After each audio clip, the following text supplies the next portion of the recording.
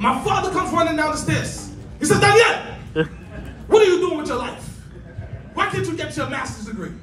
I said, fuck yeah, I got my degrees too. I got robbery in the first degree. I got larceny in the second degree. And if y'all keep fucking with me, I'm gonna have attempted murder in the third degree. now, mama, put my mugshot up there with the rest of them. Stop playing favors, man. I wanna feel love too. Shit, man. But yo, I'm gonna keep it real with y'all. Real talk. Yo, fuck this comedy shit. I always wanted to be a rapper. Yo, DJ, play that.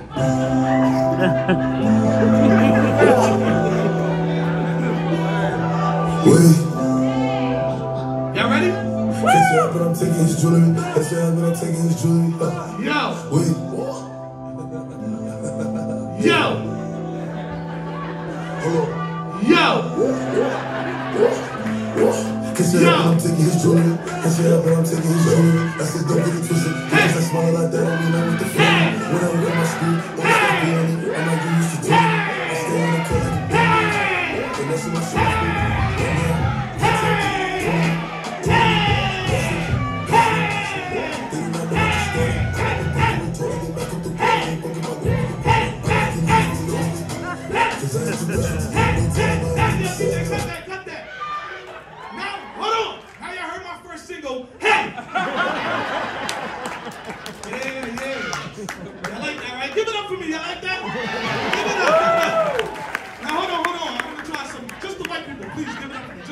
White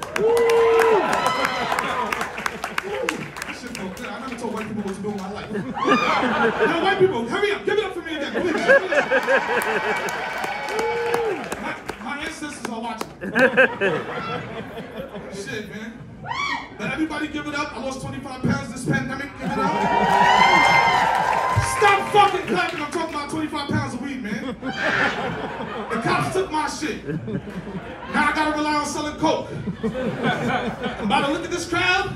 I'll be selling my shit out tonight. tonight. But speaking of losing weight, you know who I can't stand? A- a- any vegans in the building? Vegans? Woo! Listen. Fuck y'all niggas, man. I can't stand vegans. Fuck you. Nah, nah, vegans always act like they better than the motherfucker, right? Big whoop, you outlived me for 12 months. Big whoop, man. If I die in 95, you die in 96, so what? But you know what I can't stand? The fat vegans. How the fuck are you fat and you vegan? the fuck you been eating? Fried lettuce, nigga? Uh. Shit. And vegans always try to tell you what tastes like chicken. How the fuck would you know? Talking about cauliflower rice tastes like chicken. Nigga, that's broccoli with hot sauce. Bro. Give me two dollars back, man. And I come from a family of diabetics. I would never let a fat vegan outlive me. I don't give a fuck about my last all day. fuck it. Anybody had a pandemic baby this recently? You had this stupid? Yeah, I had to slap the shit out of my little nephew the other day, man. These little pandemic baby is dumb, man. For real, for real. This nigga was crying, complaining, Daniel, please buy me this toy. Please buy me this toy. I said, fuck it, I'm buying the toy. I buy him a toy. Tell me why this little nigga made me buy him a toy so you can go on YouTube and watch another motherfucker play with the toy.